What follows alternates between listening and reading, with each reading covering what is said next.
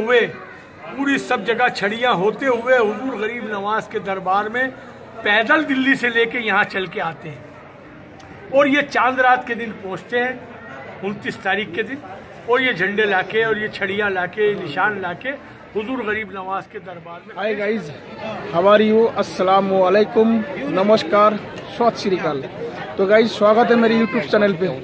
तो गाइस बना रही, जुड़ा रही है मेरे यूट्यूब चैनल पे।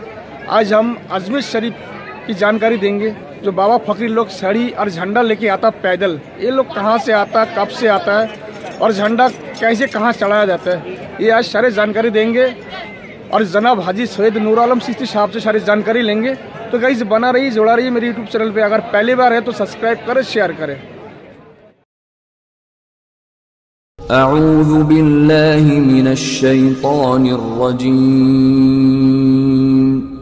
बिस्मिल्लाहिर्रहमानिर्रहीम।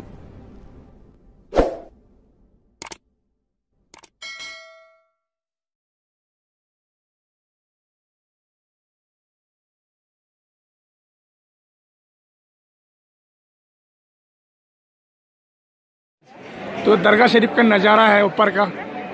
जमदुल थानी का महीने का लास्ट तो विदा लेने वाला है रजब का महीना शुरू होने वाला है। सर उससे पहले मैं आपको नज़ारा एक बार दिखा देता हूँ दरगाह शरीफ का। ये देख सकते हैं लाइटिंग का। कलाकारी है, माशाल्लाह ब्यूटीफुल अच्छा खूबसूरत है। तो ऑलरेडी जो उर्स का रजब का महीना वो शुरू होने वाला शायद आज चाँद रात होने का था, लेकिन हुआ नहीं है। कल हो जाएँगे इंशाल्लाह तो वो भी दिखाएँगे चाँद रात आपको।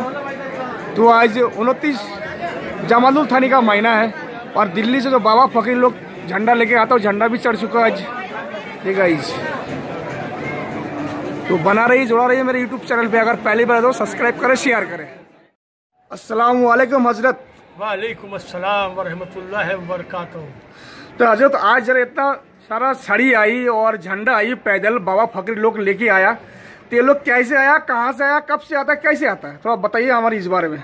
ये जो निशान और ये छड़ी और ये जो झंडे आए हैं ये हुजूर गरीब नवाज़ के विसाल के बाद जब भी हर साल उर्स होता था तो हुजूर बाबा कुतुबुद्दीन बख्तियार काकी रहमत जो हुजूर गरीब नवाज़ के खलीफा भी हैं जी। और जानशीन भी हैं और आपके मुरीद भी हैं वो हर साल उर्स में कुतुब साहब से दिल्ली से पैदल चल के जो है उस छड़ी को लेके आते थे इस झंडे को लाते थे और उर्स शरीफ का आगाज़ होया करता था। अब ये जो छड़ियाँ और ये जो रिवाज जो चला आ रहा है साढ़े आठ सौ साल से, ये बाबा कुतुब से रवाना होती है, ख्वाजा कुतुबुद्दीन बख्तियार काकी से उठती हैं और फिर निज़ामुद्दीन ओलिया और जितने भी बुजुर्गान दीन हैं दिल्ली के, तमाम पूरी दिल्ली में घूमते हुए, पूरी सब जगह छड़ियाँ होते हुए हजूर गरीब नवाज़ के दरबार में पैदल दिल्ली से लेके यहाँ चल के आते हैं। और ये चाँद रात के दिन पहुँचते हैं। उनतीस तारीख के दिन और ये झंडे लाके और ये छड़ियाँ लाके निशान लाके हुजूर गरीब नवाज़ के दरबार में पेश करते हैं। ये रिवाज बाबा कुतुबुद्दीन बख्तियार काकी के ज़माने से चला आ रहा है। हुजूर के दरबार में। और आज जो है ये उर्स का आगाज़ हो गया है। अगर आज चाँद हो जाता है उनतीस तारीख को तो आज से हजूर गरीब नवाज़ के दरबार में गसल शुरू हो जाएगा और आज से छः दिन तक ये गसल चलेगा। और अगर आज चाँद नहीं होता है तो खाली खिदमत होने के बाद दरबार मामूल कर दिया जाएगा और फिर वही सुबह चार बजे तहजद के वक्त दरबार को खोला जाएगा। यही बेटा। जी तो बहुत बहुत शुक्रिया हज़रत जानकारी देने के लिए। अस्सलाम